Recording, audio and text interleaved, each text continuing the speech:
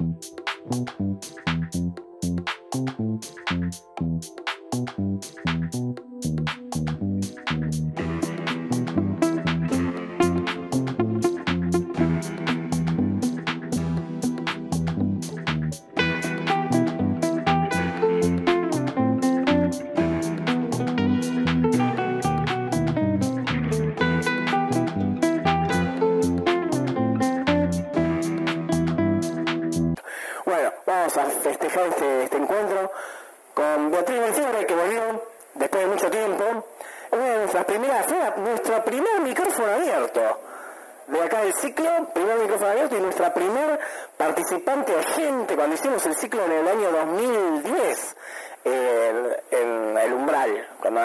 Facultad de Filosofía y Letras, ella vino a escuchar. Fue la única que vino a escuchar, los otros eran cinco que vinieron a leer, ella vino a escuchar. Que Un fuerte aplauso para nuestra primera espectadora y poeta.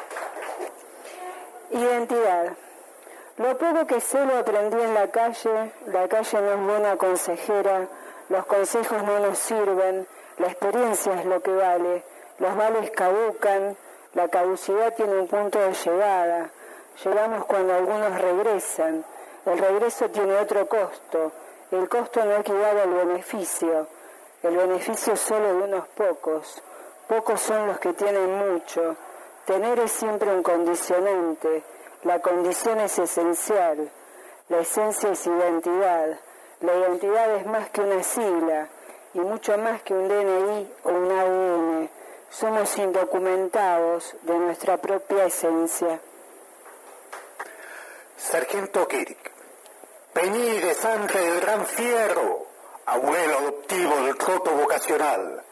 Ojalá te hubieran parido al sur de ese río Grande, o capaz nomás rajarte al sur de este charco frío y, quién sabe, cabalgar, cabalgar y cabalgar con Facundo y acorallarte a una morocha en estos pagos llamada China.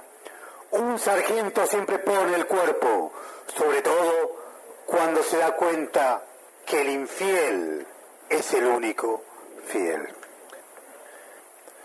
Errar en el decir presa del negro farol inconcluso, penas para neutralizar la sombra, para amar en la noche plana, flor prometida entre rocas mansas al pie de un acantilado, bajo un sol de charco con molino a raspar el aire, ser en el tiempo del mármol, la muerte en cada ochava, en cada cordón de piedra, ser en la sonrisa de una novia ante una flor tinteñar en sus párpados, ser la gota errante del vaso en la puerta tocada por el olor de un destino apenas renacer extasiado de certezas entre la hueca manada, ocultar el misterio con broches y prendas, con la propia piel en los recintos de la memoria, grito sordo para saberse temprano, en la molicia de los llamados, penas para perdurar en los llantos.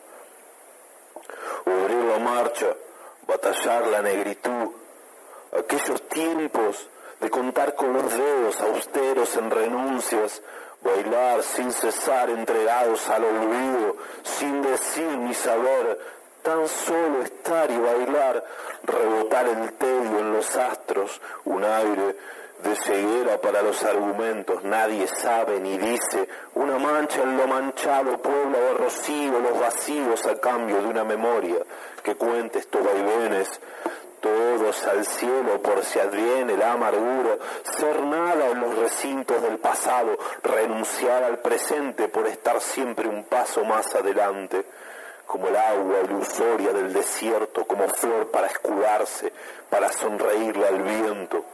Pasada la blancura del tiempo noche adviene a habitarnos, siempre aspira por no concluir, por esta sombra desparramada bajo el negro farol, regar las sienes de esperanza.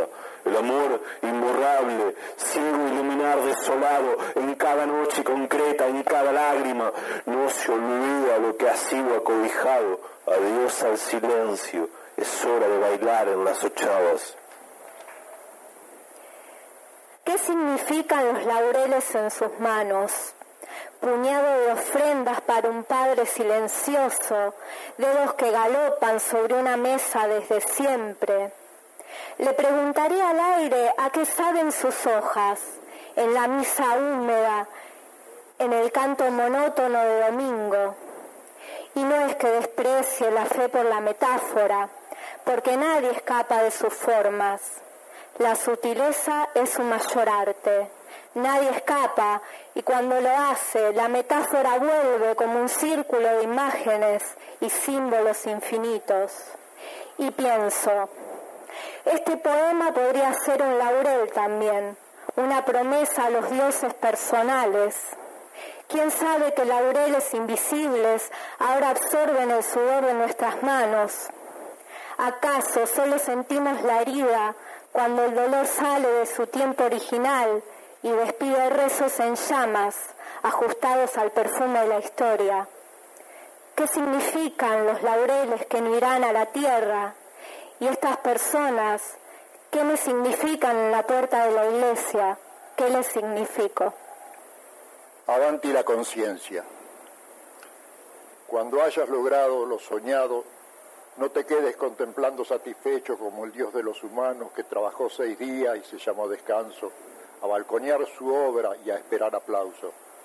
Compartí con tu gente el triunfo sin laureles, sin laureles colorando tu frente, brindando por aquellos que murieron luchando.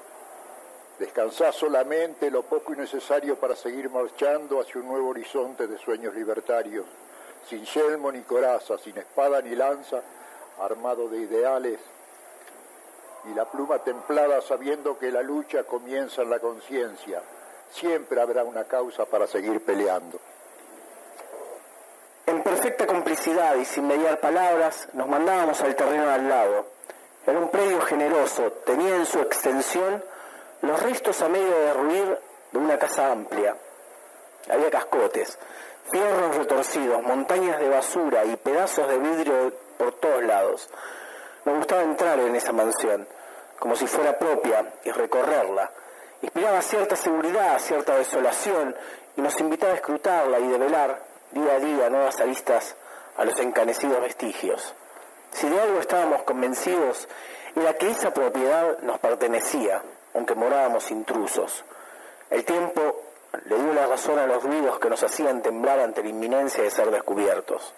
Hoy la casa es un garaje. Vos te marchitas en un banco contando silencios y yo, yo me dedico a ponerle bozal a nuestros fantasmas antes de sacarlo a la calle a que hagan sus necesidades. Hace tiempo que no es tiempo de soñar.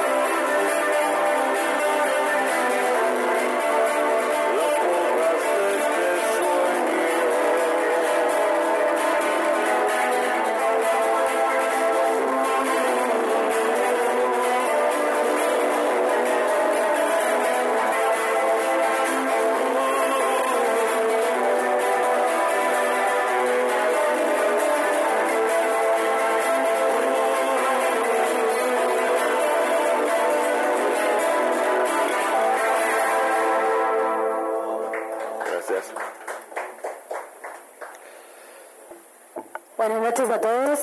Bueno, voy a leer algunos poemas también de un nuevo libro que si Dios quiere este año quizás sale. Y bueno, este tiene que ver con despertarse. Quitar de a poco el sueño de las pestañas, abrir el armario, sacar la ropa lentamente, despertar el cuerpo, cubrirlo de telas, sentir la desnudez hasta el fondo de la piel, prepararlo para una nueva rutina bajo el sol, mientras luchamos contra todos los relojes. Irrompibles. No hay encierro que pueda con nosotros, ni piedras que puedan desvanecernos. Solo necesitamos palparnos, formar parte de cada eslabón. Somos una cadena irrompible en este suelo de bestias hambrientas. Gracias. Son de distintas series, así que son bastante distintas.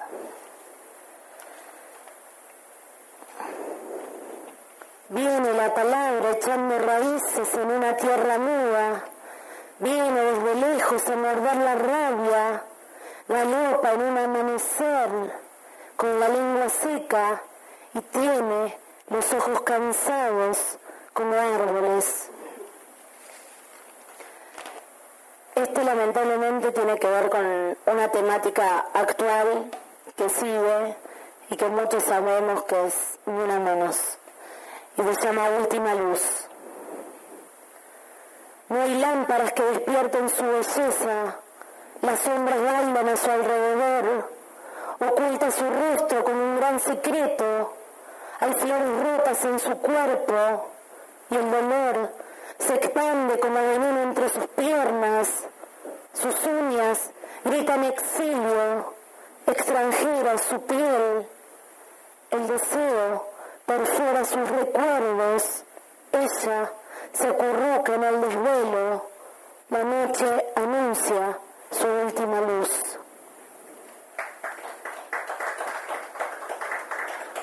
Gracias y me despido con un último poema. Hay fuego encendido en los ojos de toda la casa, aroma, sopa caliente, uses en la cocina, mujeres con manos de barro y el hambre de todos los días. Ellas lavan la tierra con lágrimas de pan y repentinamente desaparecen en el destierro. Gracias.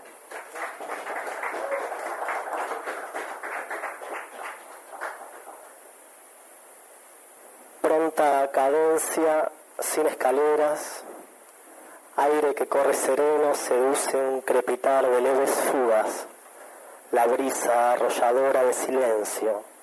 Salvar toda distancia es distanciarnos, la vista aquietada en el agua, manso rumor atraviesa hasta el último sonido de las palabras. Despalabrado hacia afuera, evocando un rumor hacia adentro, hay una puerta olvidada que golpeará mi pecho. Cuando el silencio erosione todas las tertulias, el silencio será cierto. Y luego pronunciaré tu nombre con la fuerza embriagadora de un eco, hueco de una espera sin nombre. Por fin he venido a encontrarte.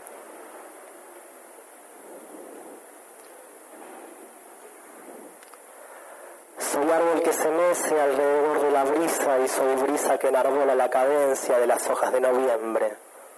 Soy el salto primordial de las langostas y un alba dando a luz una guarida de ranas cantándole a la vida.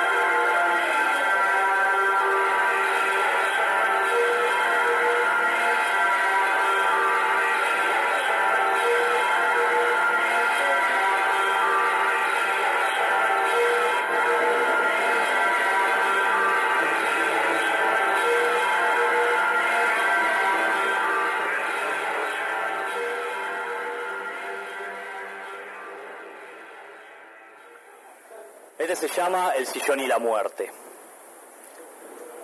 El sillón es la muerte, las tormentas muerden. Voy a reiniciar mi corazón, aprendizaje forzado en el vacío del ciberespacio. Retumban en mis oídos el sonido silencioso de viejos atardeceres. Los crímenes de soledad no deben ser juzgados. Y bailo sin deseo con la melancolía. Una danza con espectros. Un pasado con tinta invisibles que dibujan un hotel vacío cuyo eterno huésped soy yo y mis otros, rehenes de la metáfora. Búsqueda. Noelia tiene 26 años. Su deseo más profundo es conseguir un trabajo para irse a vivir sola y conseguir la autonomía de, los, de sus padres. Cierto día vi en el diario un aviso justo para ella. Importante empresa busca joven buena presencia. Lo marca con un círculo de resaltador verde. Es un lunes, como tantos otros pero a sus ojos este brilla.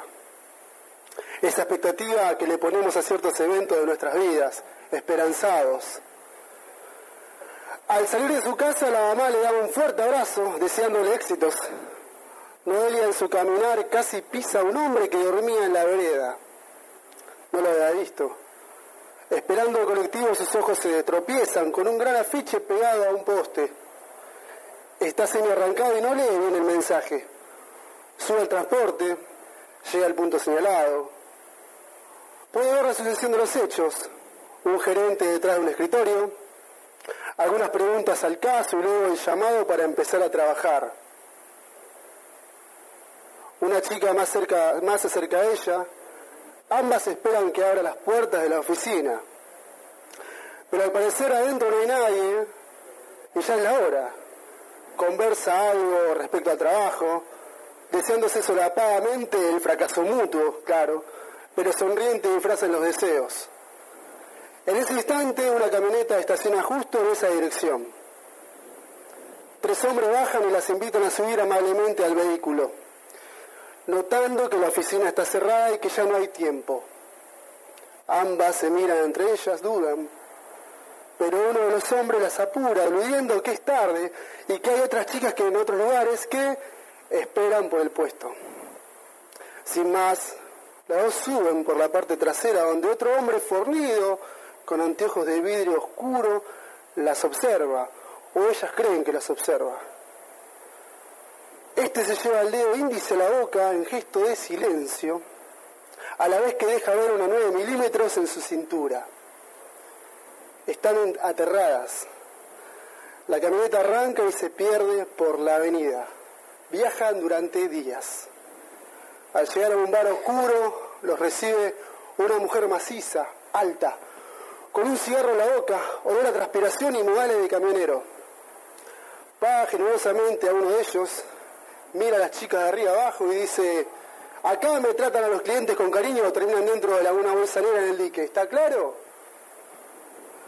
Han pasado años de la ausencia de Noelia. Su foto aparece en poste de luz, y en parada de colectivos. Pero es inútil. La gente no ve o no tiene tiempo de ver. Desamparados en la calle, ni avisos buscando personas. Gracias.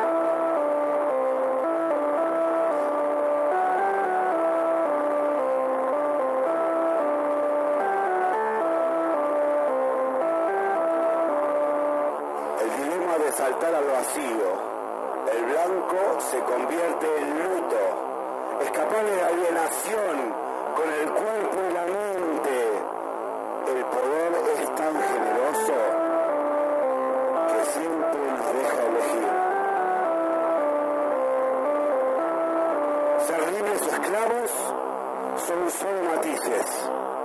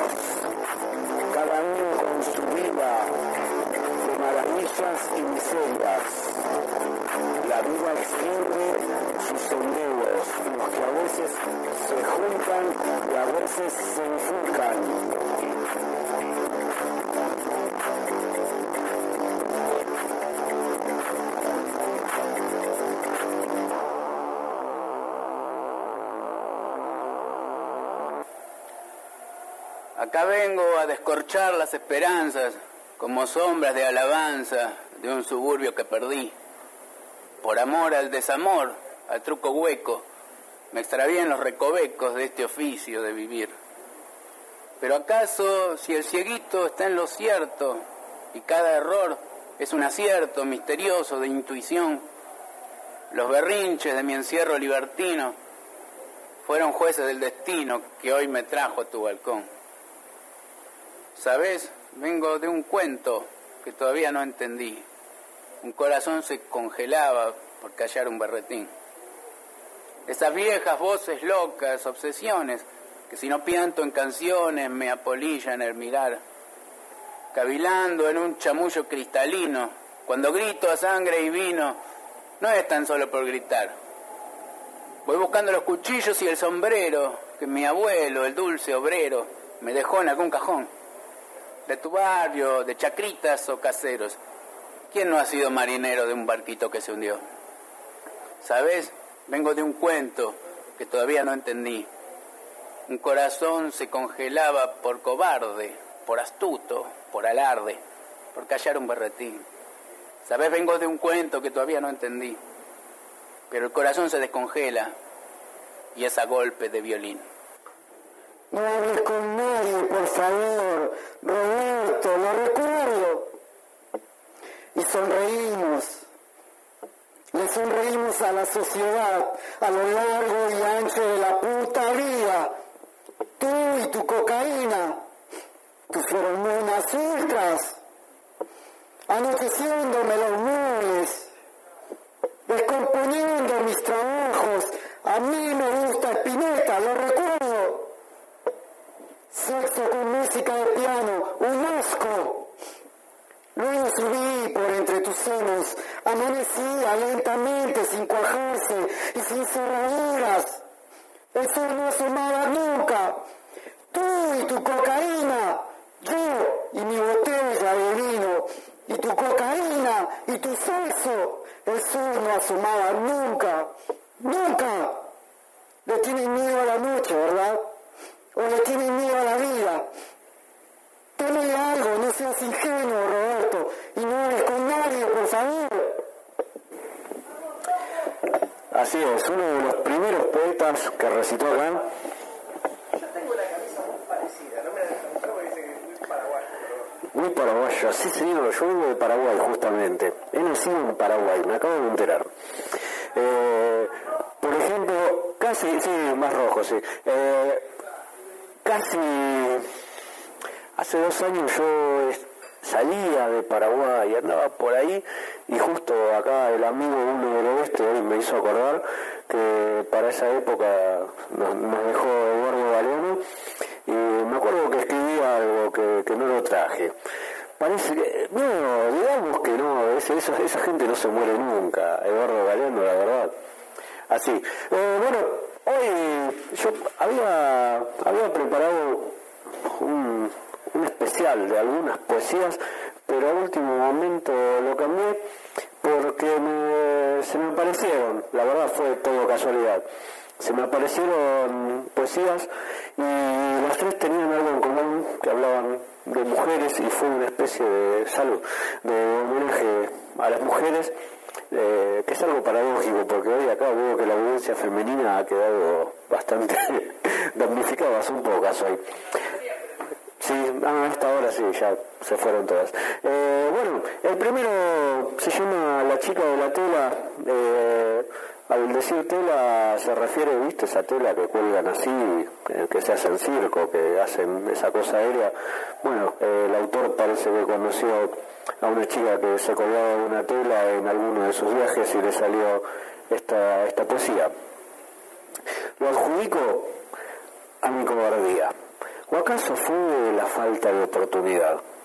No puedo delatarla, dejar en evidencia que la tela es apenas un señuelo, una cortina, una trampa, una ilusión que pretende ocultar lo real, la verdad. Ella realmente vuela. Lo disimula en esa tela para no herir, deslumbrar, ojos inocentes, desprevenidos. Hoy nos dijimos adiós. Chao. Gracias. Ojalá volvamos a vernos.